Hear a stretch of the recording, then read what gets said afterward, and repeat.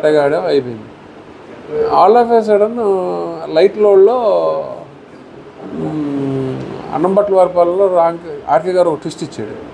ఆయన ఒక ట్విస్ట్ ఇచ్చేపాటికి సరే అంత ముందర పందెం ఆడాం. అంత ముందర రోజున ఒక పందెం ఆడాం. సో కదా అనుకున్నాం. కానీ వాడు అదే నేను చెప్పేది. ఒక పందెం ఓడిపోతే వాళ్ళలో ఉన్న కసి ఆ రోజు అన్నదల వాళ్ళు అంటే తీసుకోలేకపోయాడు. సో మర్నాడు పొద్దున్నే వచ్చాం బేట వేస్తున్నాం. బేట వేసేటప్పుడు చెప్పాడు. అన్న దీన్ని దాన్ని వేద్దాం అన్నాడు. మన ముసలాడు కూడా మా అదే ముసలాడు అంటే నాగిరెడ్డి గారు కూడా వేద్దాం వేద్దాం అన్నాడు. ఈ అమ్మ నీకు కూడా మైండ్ అని పోయింది ఏంది? దీన్ని ఏంటి దాన్ని ఏంటి? ఆ బుడదానం వేస్తుంటే అనేది రొప్పుతుంది. అది నుంచునేది. దాంట్లో వెళ్తుంటే ఆడలేక నోరు తెరుస్తుంది. దీని అంటే ఆడితే వస్తుంది. ఏమన్నా మైండ్ పోయింది ఏంటి? నీకు ఆడికంటే ఆడి ఎద్దు మీద ప్రేమ ఉండొచ్చు. నీకు ఏమైనా మైండ్ పోయిందా అన్న? అంటే నాకు వెంటనే శ్రావణను రావణను వీళ్ళందరూ కూడా వచ్చారు బాలాయలు చూద్దాం అన్న. చూద్దాం అంటే సరే ముసలాడు చెప్పారు. సరే బేటా వేయి ముసలా చూద్దాం అయితే.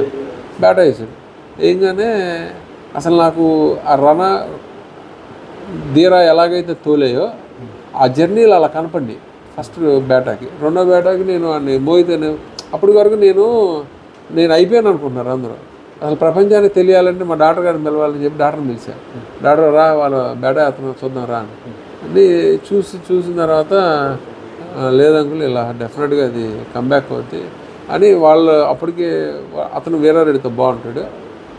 చెప్పాడు నీది అయిపోయింది నీ సినిమా మళ్ళా వీఆర్ గోయింగ్ టు విన్ ఏదో ఒక యాభై అడుగులు వెనకుండవా యాభై అడుగులు ముందరికి వెళ్ళడము ఆ జర్నీలతో అంతమించి తేడాలు ఏముండవు. అని నేనైతే చాలా తక్కువ పందాలకు వస్తాను నేనే కొడతానని. నరసరాపేట నేనే కొడతానని వచ్చా.